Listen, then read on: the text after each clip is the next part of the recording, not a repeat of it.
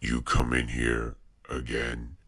In fact, if you go anywhere in this city preying on innocent people, and we will find you and eat both of your arms and then both of your legs, and then we will eat your face right over your head. Do you understand? Yes. So you will be this armless, legless, faceless thing, won't you? Rolling down the street like a turd in the wind. Do you feel me? What the hell are you? We are Venom. On second thoughts, Please,